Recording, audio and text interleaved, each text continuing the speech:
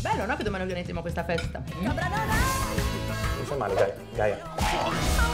Sarebbe proprio un onore, no? Avere una mamma lesbica. Immagini che te l'ha fatto sarà di fare un figlio. Genitori quasi perfetti, dal 29 agosto al cinema.